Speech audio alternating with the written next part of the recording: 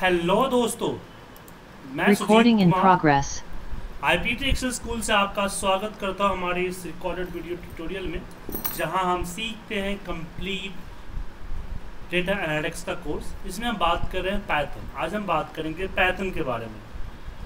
इससे पहले क्लासेस में पैथन्स में हमने ऑपरेटर्स वगैरह पढ़ लिए अब बात करेंगे मैथमेटिकल ऑपरेटर्स जी हाँ। मैथमेटिकल ऑपरेटर्स क्या क्या होते हैं? चले बात करेंगे। जैसे कि आप लोग मैथमेटिक्स में यूज़ करते हैं मल्टीप्लाई माइनस डिवाइड प्लस ये आप मैथमेटिकल ऑपरेटर इस्तेमाल करते हैं। लेकिन पैथन में इसके अलावा भी कुछ चीज़ें होती है। चलिए इन पर ज़िक्र करते हैं। तो सबसे पहले एक पीडीएफ हम ओपन करते हैं, जिसमें बात करते हैं ऑपरेटर्स की। ऑपरेटर्स कितने होते हैं? Arithmetical operators assignment unary minus relationship logical Boolean and bitwise operator ये ऑपरेटर्स के टाइप होते हैं पैथन के अंदर में। जी हाँ पैथन के अंदर में ये टाइप होती है। तो हम बात करते हैं सबसे पहले आपका मैथमेटिकल या इसको हम ये कहते हैं। अर्थमेटिक ऑपरेटर्स भी बोलते हैं, इसको मैथमेटिकल भी कर सकते हैं। इसमें आपके पास क्या है? मल्टीप्लाई है माइनस है। सॉरी प्लस है। माइनस है, मल्टीप्लाई है, डिवाइड है, परसेंटेज, इसको मोडल बोला जाता है। ये आपका पावर होता है और ये आपका डिवाइड विदाउट डेसिमल्स होता है, या फिर होल नंबर बोल सकते हैं अब जैसे कि अगर हम एक बार मैं इसको थ्योरिकली बता देता हूँ, जैसे कि अगर आपने ए आपका मान लीजिए फोर है और बी आपका मान लीजिए टू है तो अगर हम इसकी बात करें तो ये ये आपका प्लस कर देगा मतलब कि four plus two equal to six करेगा। ये तो नॉर्मल है। माइनस करते हैं तो फोर माइनस टू ये आपका टू करेगा। ये अगर मल्टीप्लाई करते हैं, आपने लिया कि ए मल्टीप्लाई बाई बी तो क्या हो जाएगा? ये आपका एट हो जाएगा। उसके बाद अगर हम डिवाइड करें तो डिवाइड होगा। लेकिन मॉड्यूल्स क्या होता है? ये आपका सेजफल निकालता है। तो चलिए इसी को हम वी एस कोड के अंदर में एक बार करके देखते हैं अपना। तो वी एस कोड मैंने यहाँ ओपन कर रखा है, इसको मैं थोड़ा सा बड़ा कर लेता हूँ। और मैं डिलीट कर दिया। अब यहाँ पे जैसे मैंने लिखा कि यहाँ पे हम लिख देते हैं ए इक्वल टू मान लीजिए ट्वेंटी और बी इक्वल टू हम मान लेते हैं यहाँ पे टेन और हम यहाँ पे c equal to A plus B करेंगे अगर इसको मैं प्रिंट करता हूँ, ये तो बेसिक कंसेप्ट है क्योंकि इसका यूज़ आगे चल के हम इसमें करेंगे, मैं अभी मैथमेटिकल कैलकुलेशन वगैरह में करेंगे।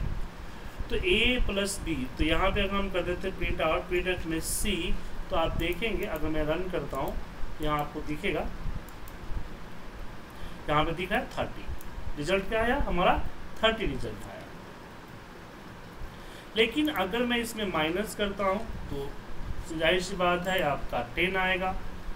अगर मैं इसको मल्टीप्लाई करता हूँ तो मल्टीप्लाई करने पे आपका टू हंड्रेड आएगा।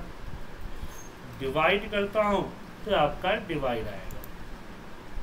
टू पॉइंट ज़ीरो आएगा। लेकिन इसमें एक आती है आपकी, बारी आती है परसेंटेज की ए परसेंटेज बी मान लीजिए ए आपका 14 है और बी आपका 5 है तो रिज़ल्ट सी पे क्या आएगा? जब ए मोडुलर इसको हम लोग मोड करते हैं ए मोड बी करेंगे तो रिज़ल्ट फोर आएगा। मैं चलिए इसको रन करके दिखाते हैं। तो रिज़ल्ट यहाँ पे आपको देखिए फोर आ गया। तो कैसे आया? तो इसने क्या किया? इस तरह से इसने यूज़ किया कि यहाँ पे इसने 14 रखा और यहाँ पे 5 रखा। और यहाँ पे 2 से किया, यहाँ पे आ गया 10 इसने यहाँ पे कटन गुट्टी कर दिया और ये आपका फोर मेरा बेटा कटन गुट्टी बोलता है फोर आ गया। तो जो ये फोर है ना, ये परसेंटेज जो हम देते हैं, जो परसेंटेज का सैम्बल देते हैं, हमने कर दिया ए परसेंटेज बी तो ए आपका ए सेल्स पर रिमाइंडर निकाल के दिखाया। उसके बाद अगर इसमें अगर इसमें हम डबल बार मल्टीप्लाई करते हैं, जैसे मान लीजिए टेन स्क्वायर करना है तो तीन स्क्वायर और टू हमने यहाँ पे कर दिया। ए डबल स्टार के साथ बी कर दूँगा तो आप देखेंगे कि इसका ये हंड्रेड आया। तो याद रखिए, अगर आपका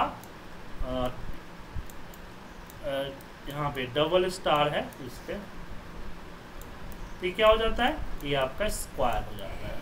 तो डबल स्क्वायर है तो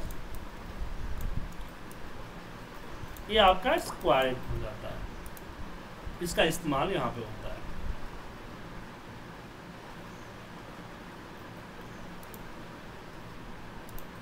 अब इसमें आता है आपका डबल स्लैश जैसे मान लीजिए कि मैंने 10 को 2 से डिवाइड किया।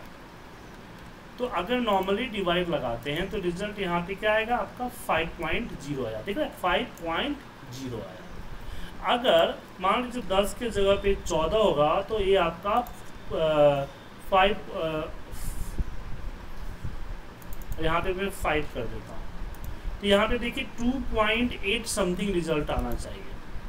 2.8 इसने क्या किया? डेसिमल कर दिया। मतलब कि इसने यहाँ पे अगर मान लीजिए चौदह है, अगर पाँच से डिवाइड हुआ तो यहाँ कटन कुट्टी और यहाँ पे फोर डॉट लगाया डॉट लगाने के बाद यहाँ पे ज़ीरो लगाया और फिर एट दिया और यहाँ पे फोर्टी से यहाँ कुट्टी कर दिया। तो नॉर्मल जो डिवाइड आप करते हैं, लेकिन इसी में अगर मैं डबल डिवाइड करूँगा तो क्या होगा? आप देखिए रिज़ल्ट सिर्फ़ टू आएगा पॉइंट ज़ीरो या फिर डॉट एट नहीं आया। इसका रीज़न क्या हुआ?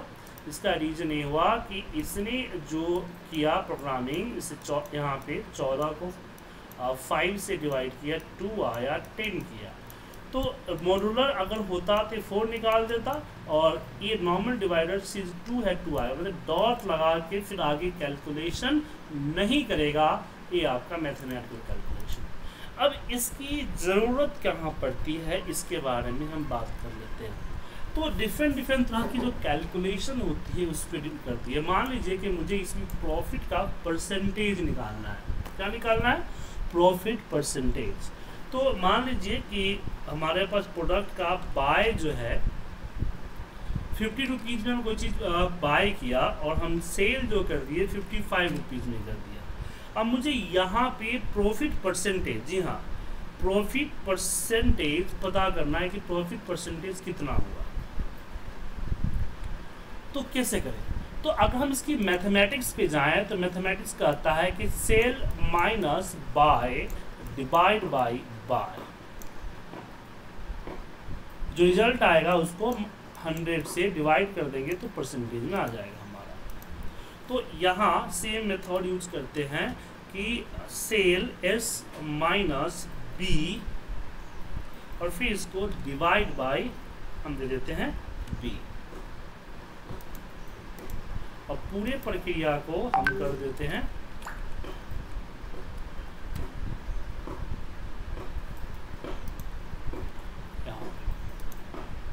ये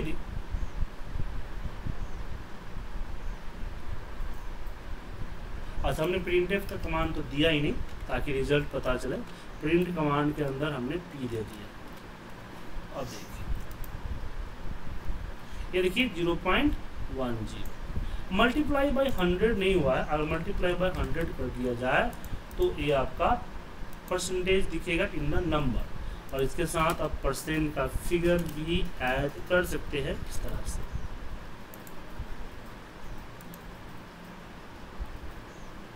सॉरी ये फ्लोट है, इसलिए ऐसा नहीं होगा।